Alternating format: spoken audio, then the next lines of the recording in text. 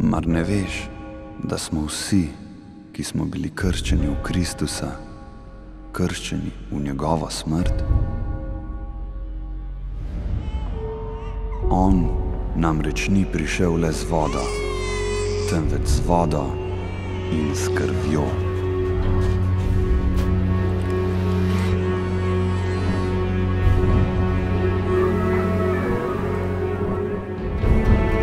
Alojzi, ego te baptizo in nomine Patris